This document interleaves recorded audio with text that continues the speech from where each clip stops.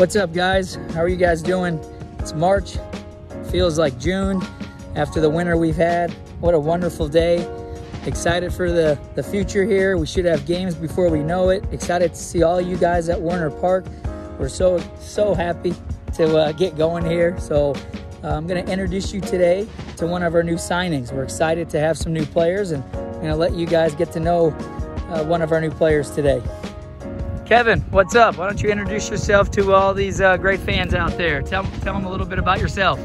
Hi, Union Omaha fans. It's Kevin Piedrahita, Union Goalkeeper Edition. I'm glad to be here. Very excited for this new experience and opportunity to live soccer over here.